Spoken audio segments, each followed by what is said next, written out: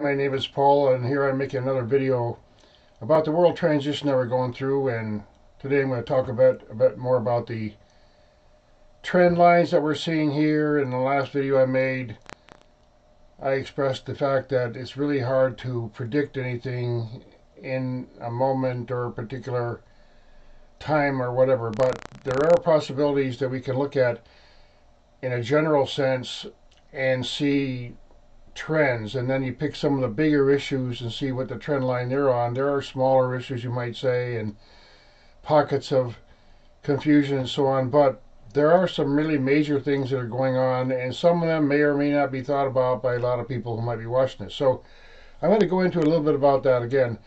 Um, I've been looking into this stuff for a long, long time, way back in the 70s. Uh, we used to sit around in the cafeteria and talk about the end of the world and prophecies and all that kind of stuff, and it was fun. But here we are a long time later, and there's a whole lot of stuff that's been hitting the fan lately. So I want to get into like a little bit about what I believe are maybe the trends that we ought to kind of watch out for, and then you can make up in your own mind and think about the consequences of some of these things and kind of figure them out for yourself here. Now, I made a little bit of a list here but I got on here the monetary system, storms and quakes, shipping issues, civil unrest around the world. There's a lot of that going on. Confusion and fear. There's a ton of that going on. Tyranny regarding meds. I mean, it's getting really crazy how they want to restrict your movements and everything. And I don't know. I mean, you can kind of follow that line for yourself and figure that out, but that isn't going in a nice way. Revelation of, of corruption, the fact that the media now, nobody trusts the media and alternative media is coming out and there, there's all different sources now that a lot of this corruption is being revealed and it's, it's deep and wide and it goes into many countries and you know, there's people who are in this country, politicians, that they're not loyal to this country at all. They're loyal to maybe China or Ukraine or wherever, but uh, you know, I don't want to get into that too much right now. Censorship is a big, big issue. If we don't have the information that we need to make decisions in our life, that's a serious problem, including where the best medicines are, or what you can, how you take care of your health, and all kinds of really important information, including what's going on astronomically in the solar system. There's the stuff uh, I'll talk about that in some of the other videos, but uh, travel issues. look for travel issues. The fact that you can see the trend line here when people with restricted movements, and then there's people who say, "Well, I'm not going to go on a plane." For example, I'm not going to get on a plane. I don't. I'm not to. I mean, I have a little airplane, but it only goes locally. I'm not going to get on a commercial plane until they stop with this mandate stuff because there's no reason that I need that right now. Two years I've been here. I don't wear a mask.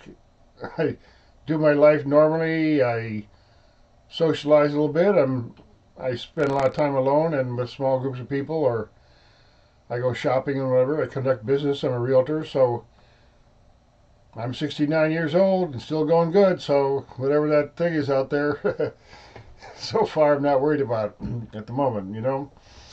Now, I want to talk a little bit about larger issues that, as a previous video I made, I talked about like how in aviation or in any kind of thing that one problem leads to another problem and that compounds a problem and then you get three or four of those kind of things and now you're in a real major disaster here. and when storms hit the coast, I mean anywhere along the coastline, I suggest people, I mean really think about this for a minute here. Near the coast it's just got so many possible problems, you know, depending some of them are better than others. And if you're going to be near the coast, at least be, you know, a little bit higher elevation. Now, the medical thing that's going on right now, you can see how it's affecting a lot of the shipping and transportation. And a lot of businesses depend on that. And if you go to the show, stores lately, you'll see that there's a lot of stuff empty shelves and so on. And I mean, do the math. That's what I feel. I mean, prices get a little higher. But there are alternatives, and I keep suggesting people look, live a little simpler. There's a lot of stuff in life. I'm a realtor. I go look at a lot of houses, and some of the houses you go look at, like, wow, you can hardly move inside the house. You know, that's one thing. And then the other thing is that, wow, it's really big and complicated and expensive to maintain and located in a cul-de-sac where you can't get out in case of emergency and stuff like that. So those are some of the big issues. Now, astronomically, there are some things that we might want to consider. You know, every once in a while you hear in the news that they just found this asteroid and whoops, it slipped by the Earth at 25,000 miles away or 100,000 miles away. Or, oh, we missed that one.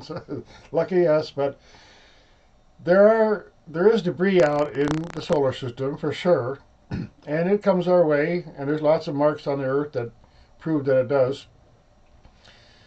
So that's kind of an off the wall type of possibility, but it could happen. Some of these really large earthquakes, like um, Krakatoa and Montobo, Tuba in, in Hawaii, and uh, all around the world, there's lots of places where these big, massive earthquakes can happen, including in Iceland and so on. And there was one in, I think it was 1893, Krakatoa, somewhere around there, 1895 and they had like it blew ash that circulated around the world. I mean, they had a short, really short summer in, in North America because of that one event. And if that happened today, the population is so much larger and affects a lot of people. Now,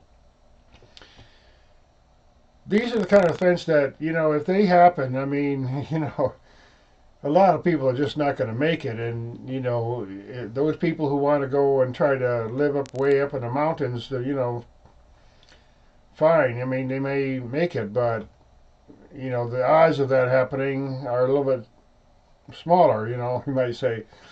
But what really can happen is power outages because a storm and a power outage, I mean, we all know, I mean, it can happen for days and weeks and solar events and solar flares from the can get into our atmosphere and onto the earth and blast out electronic equipment, knock out satellites and things like that. So those are real possibilities. And again, all those things will affect the banking system and and uh, civil unrest because when people can't get their food or they can't get their money out of the ATM, there's likely to be some problems. Basically, now the, with electrical things, the electrical power outages have one concern is these big transformers, and some of them are really large. They're very, very expensive, and they don't keep a lot of spares around, if they keep any. And they can be responsible for electricity in a huge area. So if we did get a solar flare or a um, electromagnetic pulse from a weapon or something, it, they could launch a weapon out of a container ship and shoot it over the east coast of the United States and get up there about 50, 60 miles or whatever and however, blast out the city's electronic system or whatever. So it's there's some things like that, the wild card things that we might want to think about, but they don't have to be at the top of the list. Transportation, for example, alternative modes, for example, keeping gas around, you know, if you have like an ATV, I mean, even if you have a horse or some other way to get around, maybe one of those new kind of things with the six wheels or gators they get them to call them you can drive around your property. So being able to go on rougher roads by having several different kinds of vehicles is a good thing. Um, having some machinery like tractors. If you know a neighborhood like I have a neighbor who's got a, a bulldozer and a big backhoe so he can he can make a road if they if they get blocked. But um, there are people out in the countryside who have really serious equipment, big, huge machines, and you know, big, huge hauling truck hauling machines and tow trucks and things that can move something out of the way and pump water out of a road or something. So, where you live, I recommend living a little bit on the edge of the city if you you know so if the, if there's a problem in the center of a big city and you're living in the outskirts of the city well, you're you're going to be one of the first ones to be able to get out. You see, that's the way. Like sitting next to the exit, uh, the emergency door on a plane. Well, you know, if everything, if something really happened, at least I'm right next to this door here. But you know, it's kind of a last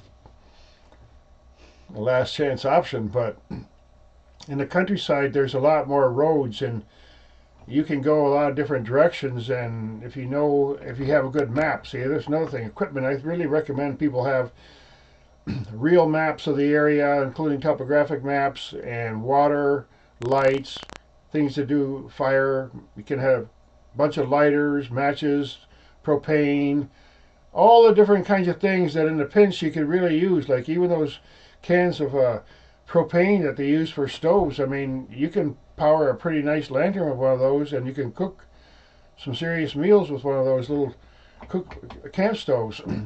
so I have one of those camp stoves and some extra propane, and hey, if electricity went off in my place where I have electric stove, I mean, I'll cook. I'll find somewhere to cook, even if it's raining outside. I'll bring that little propane thing in the barn and set it up, and I'll I'll make myself some some food. Extra food, uh, fresh food, your medicines, things like that. It's really good to have these kind of things around. Now, the overall trend line, again, the banking system, uh, this is a really serious issue, and, and I don't want to get into it too much here, but the world banking system is, I mean, you follow the money, right? You go up and up and up, and you follow the money, you find out there's this thing called the Bank of International Settlements. And it's in Europe, and it has some secret members, and they're immune from everything. I mean, they're literally immune from everything. You can't arrest them, do anything. They just control the money. a lot of people don't know that. So the banking system is a cascading system of the big banks, the ultimate banks, the secret banks, and then they own the banks, the little more banks, and then the little, banks that you go down in your local town. That little bank is probably owned by some big fish up the road somewhere, up up the way up to the Rothschild or something. and there's there's banking system, banking industries that really own a whole country. They can own a whole military. They, you know, you want to pay your military mercenaries some money, then you better talk to that bank. so, if you have a lot of gold and you want to store it somewhere, you gotta talk to the right people. So, that's a really serious problem, and you know, I can't tell people what to do about it, but the idea of having a little bit of cash around really wouldn't hurt, and maybe some other things of value. Because ultimately, let's say you have some gold or whatever and some cash, but then you go down to the store and they won't accept your gold and they can't open the register.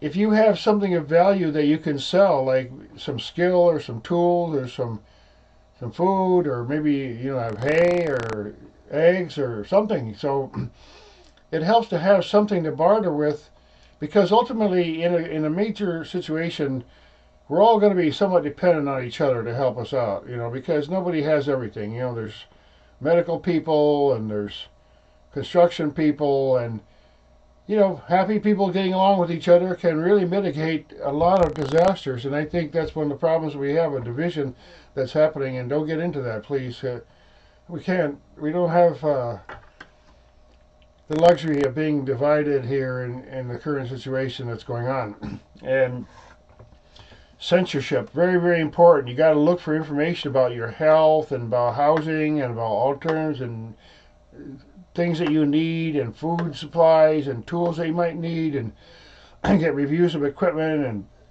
how to deal with septic and all the information that you need censorship. If the internet goes down, and the very possibility, there's a lot of reasons why it could go down, but the censorship still happens, and then you can't get information, and you try to search on Google for something, and they won't, you know, you know how Google is. So again, books, having really good books, how-to books. I mean, I've got books and uh, how to raise goats, chickens, sheep, horses, dogs, how to grow food, wild food life, you know, wildlife food that's around here, kind of plants you can eat or not eat, mushrooms, how to skin a deer, how to do this and that, how to shoot a gun, how to hunt.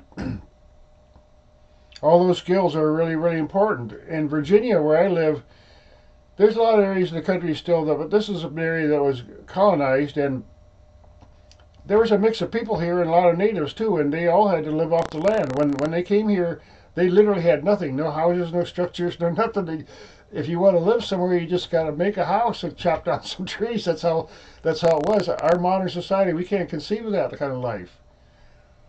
But literally, people had to literally cut down enormous trees and then build the most rustic of all kind of places with the logs from these trees and then clear some land with a whole lot of hard work and mules and rope and chains and everything and then finally get some food growing there. And thank goodness now there's a whole lot of land that's cleared out there now and, and it's ready to to use for crops. And you can plant a whole lot of stuff really close together and there you know if it really gets down to it you don't need a whole lot of food. I mean honestly we have to admit most of us eat way more than we really need to eat in this culture in america in many parts of the world. You see people they obviously eat way more than they need. I mean so it's easier to manage that if you have less demands, if you don't need huge foods. I mean, if you really have an urgent situation like a power outage, you you probably weren't going to be making that seven course meal. you know, you just get the basics and feed yourself and, and your family and so on. So the trend lines I make jokes about sometimes. I kind of laugh a little bit about having some humor about our situation here, but there's a lot of very serious possibilities, and I don't want to be alarmist. I get accused of that being alarmist sometimes, and I don't really want to have that be my reputation, but I like to tell people the truth that if I discover something very important that's interesting and might affect their lives, then I want to um, make sure I do my part and tell people because um, I would be amiss if I didn't tell people what I learned. And there's ways of taking care of your health and so on that can really extend your life. I mean, think about it. If you something that you there's people out there like me, helping and teaching and learning, and I learn and listen from lots of different things about bushcrafting and all kinds of stuff. Those things that we teach each other can really, in many cases, save a life, or not permanently save a life, they live forever, of course, but make it a few more years at least. So I try to make these videos short and entertaining, and I appreciate feedback. If you find anything I say interesting or viable, please like and share. I talk a lot about ancient mysteries and esoteric teachings in my other videos. And one of the reasons I do that is because if we look back through history, there's been many, many, many times when serious global or highly regional major catastrophes have happened. okay, so there's tons and tons of stories about it. So because there were people that survived those kind of situations, we are here. I mean, we have to think about it. our ancestors survived some pretty heavy stuff.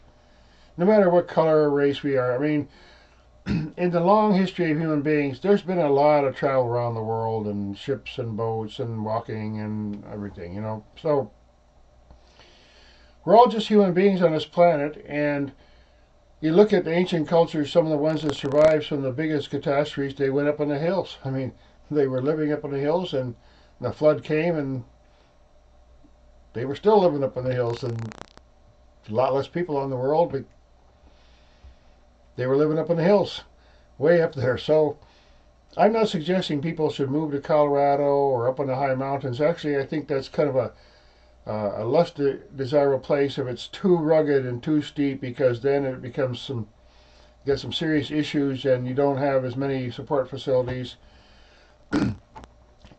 if there was a really huge regional power outage, for example, okay, at night it would be crazy. I mean, you'd have cars and trucks and whatever could run and lights and different kinds of generators running or whatever if it went on for a long time, then you'd people would kind of get a system going on. They'd set up their solar and all that, but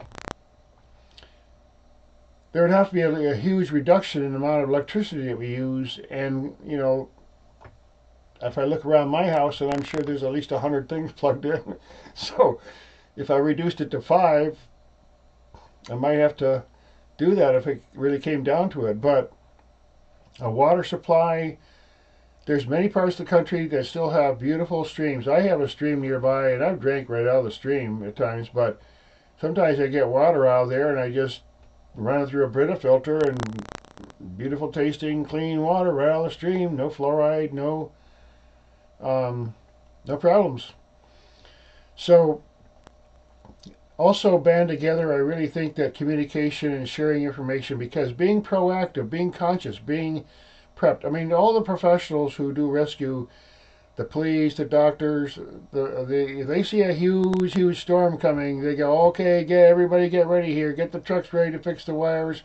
Get the fire trucks ready. Get the police ready. Get everybody ready. These people are already conscious. Airline pilots and so on. These people are really on the ball, and thank goodness because they're keeping their eye out for things. And there's there's issues with the planet. I'll get into another video but the, the planet has a wobble. There's actually a, part, a department a department of earth wobble i think it was. But anyway some organization that scientifically keeps track of this slight wobble. Our earth has the precession of the equinoxes and it goes back in a but it also has a very very slight wiggle wobble and it affects the seas and the waves and things like that. So there's some really fascinating things about the Earth that a lot of people don't think about. For example, the Earth's magnetic field is shifting, and the North Pole, the North magnetic pole, not the physical pole, has been moving and moving and moving, and also lessening in effect. So now the the physical, the magnetic North Pole is way over there in Russia somewhere, I believe, and then the South Pole is also moving. And then there's times on Earth when the magnetic pole gets so out of a line with the physical pole that you know, kind of like electric circuit, it does a, a, shift or something, and that would affect all our navigation instruments and magnets and everything. Oh man, it would be a mess. So, I don't want to make people afraid or anything, but on a smaller scale, just be conscious and be ready and, and make this that area around you bigger. I mean, think about farther around you. Like, if something really happened, it might affect 30, 40, 50, 60, 100 miles away from you. And, you know, a hurricane, someone tries to get out of the Louisiana area, area during a hurricane, and they might have to drive 200, 300 miles to get really far inland. So, think about all that. So thanks again for listening and appreciate it. And I'll be making a lot more videos this year. I have a new camera and I'm going to set it up a little differently here. But I want to make them easy to produce and casual. And I wear, I don't always wear a camo outfit. I'm not a hunter, but kind of like blending in a little bit. And uh, thanks again for listening and I'll speak to you in another video. Thanks.